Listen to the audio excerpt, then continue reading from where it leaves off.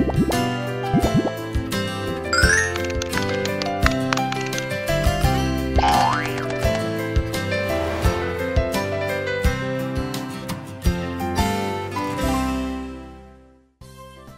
Ten Story friends. It's so good to see you. Story 친구들 안녕하세요. 보미 선생님이에요. 오늘 보미 선생님이랑 아주 재미있는 동화책을 읽을 건데요. 동화책을 읽으면서 아주 재밌게 영어도 배울 거예요. 자, 오늘의 책의 제목은 The Fence. The Fence. 한국말로 이게 무슨 뜻이죠? 맞았어요. 울타리. 울타리라는 뜻이에요. 자, 재밌을 것 같은데 우리 빨리 한번 읽어봐요. Let's go!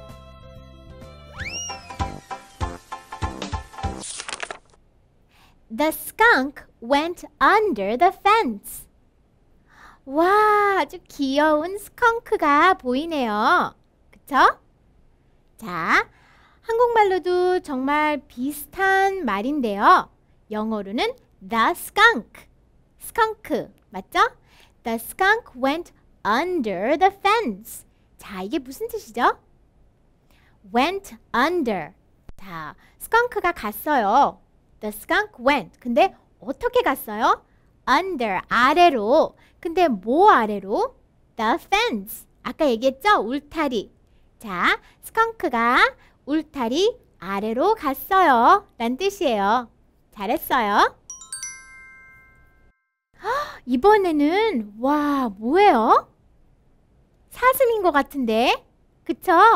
자 사슴이 영어로는 뭔지 한번 읽어봐요 The deer went over the fence 자 여기서 사슴이 영어로 뭐예요? 알아맞힐 사람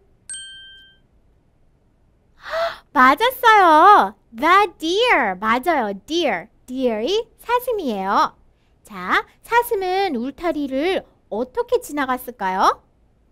The deer went over the fence. 자, 선생님이 힌트 줬는데요.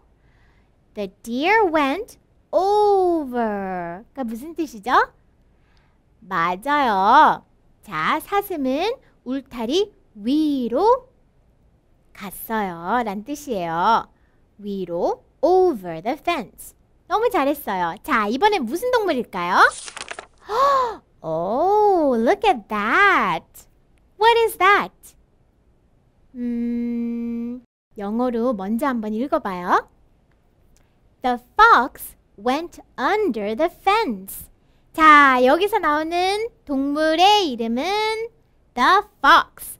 fox가 한국말로 뭘까요? 여우. 맞았어요. 여우. 자, 여우는 울타리를 어떻게 지나갔을까요? 음, 여기 보니까 아까 스컹크랑 참 비슷하게 간 것 같아요. 그쵸? 그러니까 영어로 fox도 똑같이 아까는 the skunk went under the fence 이번에는 여우가 지나가니까 the fox went under the fence 자, 여기 울타리가 있으면은 under 자, 이게 무슨 뜻이에요? 여우는 어떻게 갔어요? 울타리 아래로, 밑으로, 아래로 갔어요.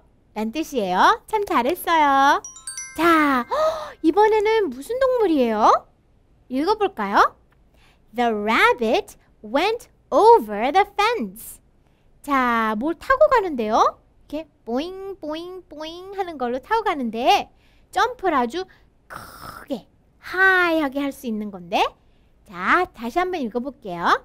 The rabbit went over the fence. 자, 여기서 the rabbit 뭘까요? 토끼 맞았어요. 토끼. 오케이. rabbit는 어떻게 지나갔을까요? 아까 사슴이랑 정말로 비슷하게 갔죠? The rabbit 따라해보세요. The rabbit went over the fence. 잘했어요. 자, 토끼는 울타리 위로 이렇게 지나갔대요. Alright. 어, 너무 귀여워요. 여기는 무슨 친구지? 다람쥐 같은데요, 그쵸? 다람쥐가 음, 차를 타고 있어요, 그쵸? 자, 다람쥐가 영어로 뭔지 한번 봐요. The squirrel went under the fence. The squirrel went under the fence. 자, 여기서 다람쥐가 영어로 뭐죠? 선생님이 읽었는데 알아맞혀 보세요. 맞아요. 들린 것 같아요. squirrel. 잘했어요. The squirrel went under the fence. 자, 여기 아까 두 번이나 벌써 음, 들었던 문장이에요. 그쵸? 자, 다람쥐는 어떻게 지나갔어요? 울타리 밑으로. 울타리 아래로 지나갔어요. 이렇게. 근데 뭐 타고 갔어요? Car, car. A little red car. 아주 작은 빨간 자동차네요. A little red car.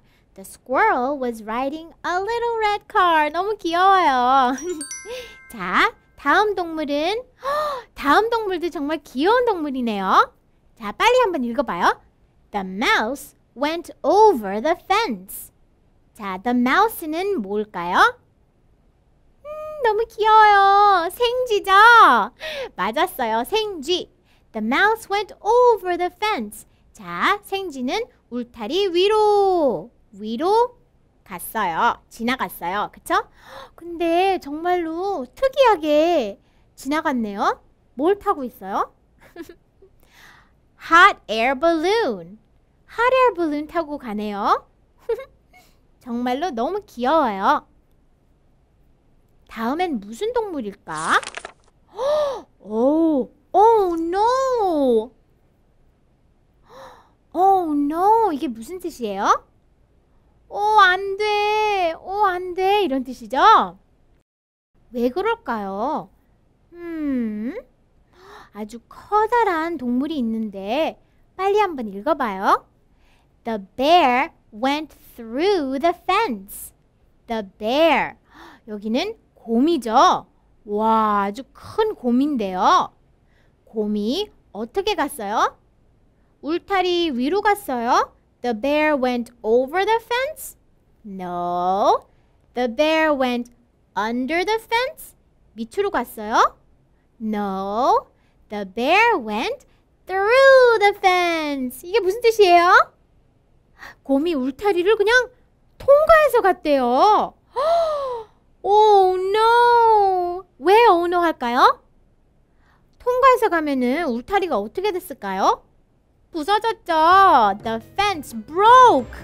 It broke. 정말 너무 웃기네요. 그쵸? 오케이. 텐스토리 친구들 어땠어요? 정말 재미있는 동화책이었죠? 우리 보미 선생님이랑 같이 아주 재미있는 영어도 아주 많이 배웠는데요. 동물들에 대해서 그리고 또 뭐요? 울타리를 어떻게 지나가는 법? Over the fence, under the fence, through the fence. right? through the fence 해가지고 곰은 어떻게 했어요? 어, 울타리를 부숴버렸어요. 그쵸? Oh no! 아주 재밌었는데 어땠어요? I hope you had fun. Okay, till next time. Bye!